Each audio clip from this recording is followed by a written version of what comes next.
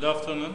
Could you please uh, tell us about yourself, your background in the travel industry and hospitality as well? Well, this is a long story, yeah? but I cut the story short because, uh, uh, well, I started, uh, I come from an industrial family, uh, German family, which were in the textile business for many century, centuries. And I decided to go in the hotel business.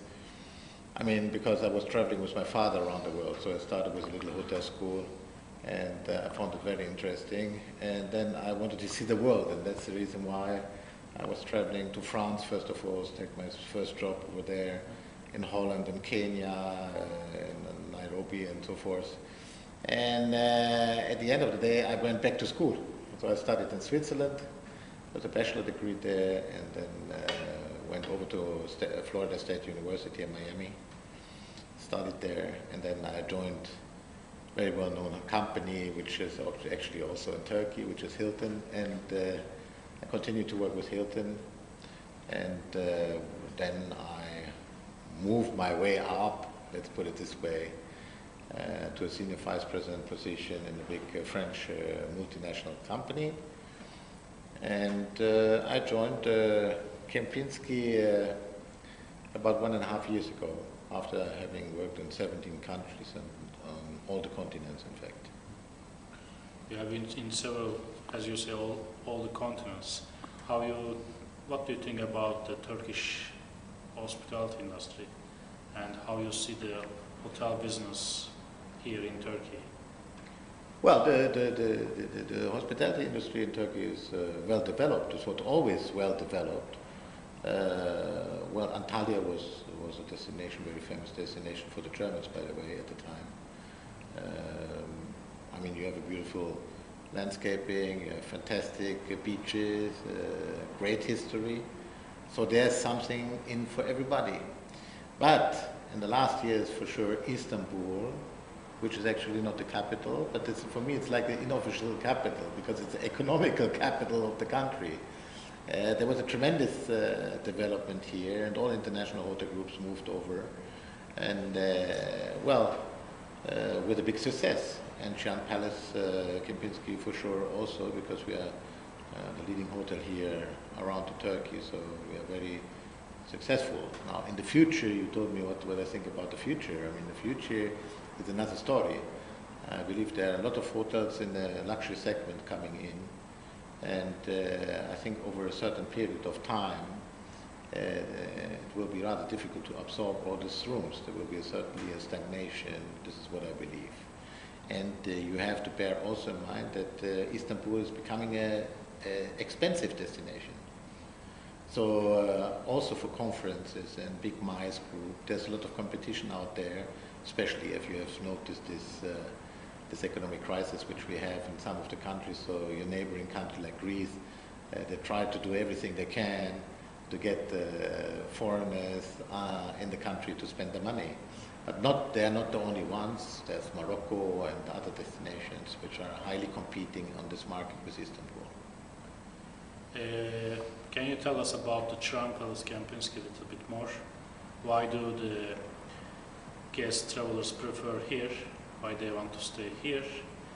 Also, we have some news that lately you uh, refresh or renew your kitchen team, I think. Uh, there are some new uh, uh employees. Yeah. What's going on?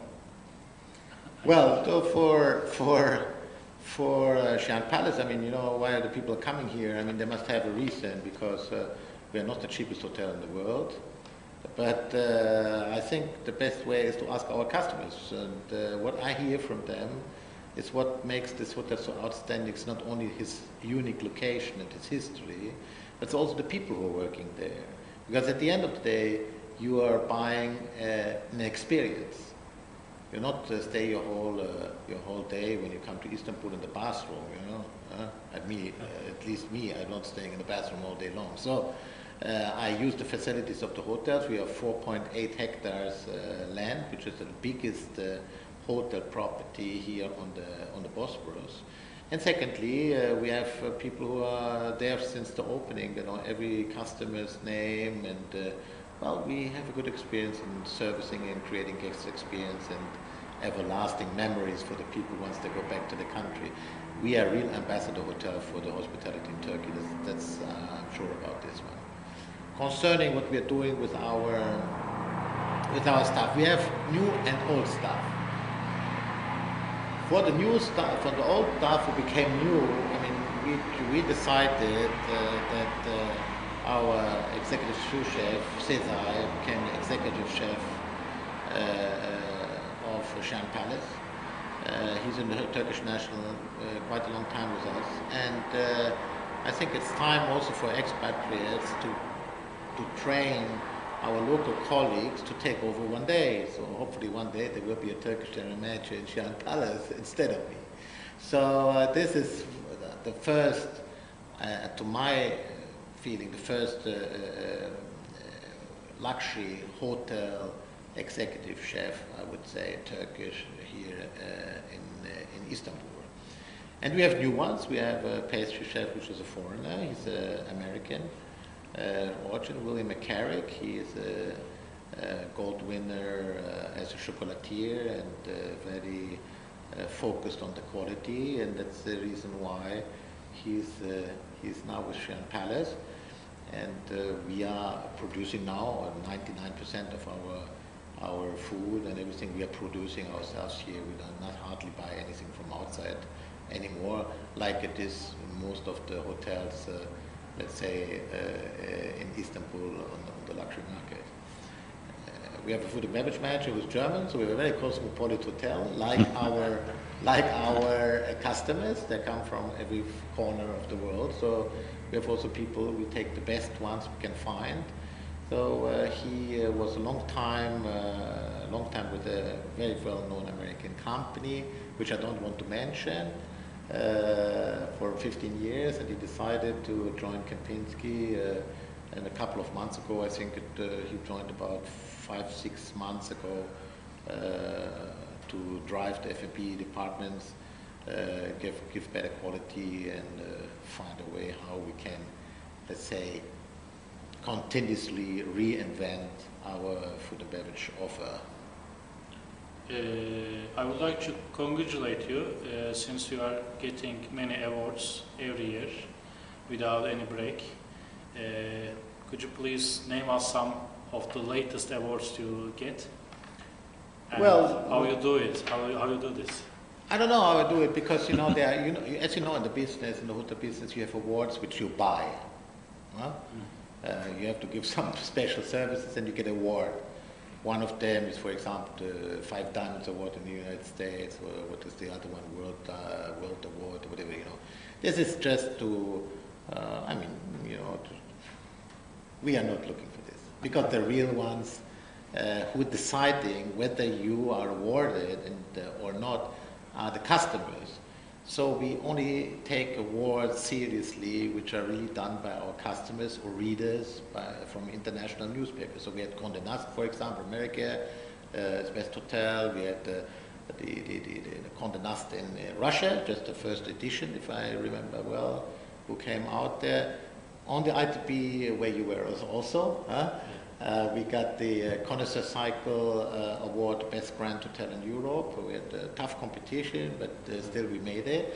And this, all these awards we're getting for this year, since the beginning of this year, we got four international awards.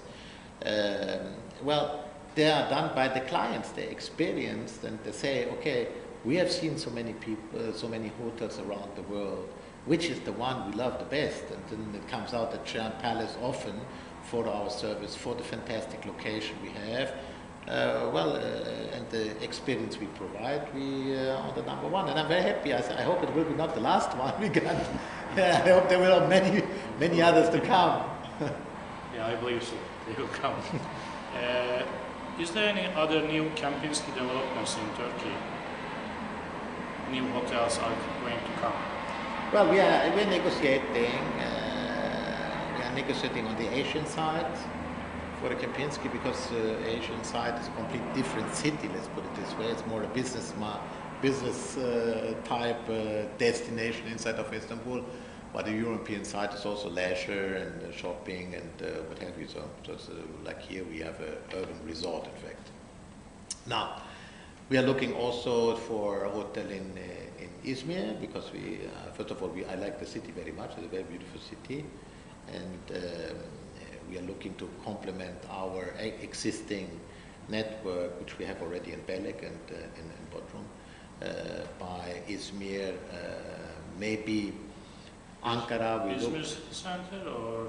We want to we want to have the best on the on the on the corniche, what I call the corniche. Maybe it's not the right appellation, but we want to have the ocean view, uh, if possible, and uh, uh, as close as possible to the to the old town. It's fantastic, this old town. Uh, it's a fantastic uh, place. So we we are looking at destination. We have a lot of offers to take over hotels, etc. But we are very choosy because we are not there to make the quantity, we are making the quality. So we are not announcing like American hotel groups, we are going to build 300 hotels or whatever, or we build another 1,000 room hotel. You know what I'm talking about uh, with the American company. You know, this is not really what we want. We want to have a choosy places and very, uh, let's say, complementary to the network we are having today. So if you have Çırağan Palace, we don't want a second Çırağan Palace in, in Istanbul, neither on the Asian side, neither here. So we want, uh, we want to have a different experience, let's put it this way, in a different location in, uh, in, uh, in Istanbul, like on the Asian side. But all offers are studied and politely we answer to all offers for, for sure.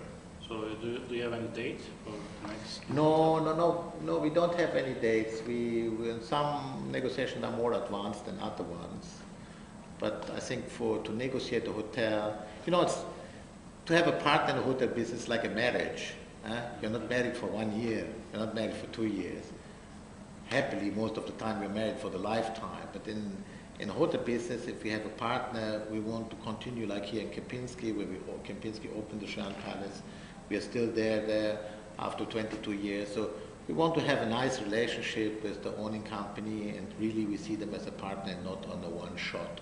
And that's the reason why, like you are uh, checking out whether when you marry, you want to marry with the right wife, the right character, the right personality, etc. That's the same thing for us. We want to have the right owner, we want to have the right hotel for the right, at the right place, etc. You know, so we take our time to make it happen.